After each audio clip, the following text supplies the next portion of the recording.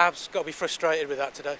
Very frustrating. I think we dominated the game from start to finish without really creating any clear-cut chances, but hit the bar, hit the post, getting crosses in. I thought the boys played well today, and for them to score a last-minute goal like that was a kick in the teeth.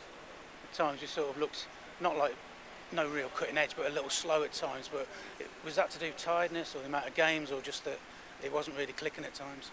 Um, I don't think we can use tiredness as an excuse. I think everyone's played the same amount of games in the league.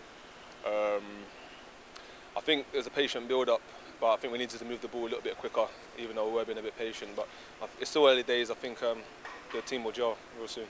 Well, you said that it's all about the chances created and bar post from Junior, mm. headers over, and it was just that little bit where the ball just wouldn't go in. Mm. Yeah, there's a little bit of bad luck. I think on another day, go in 2 0 at half time, we win the game 3 or 4.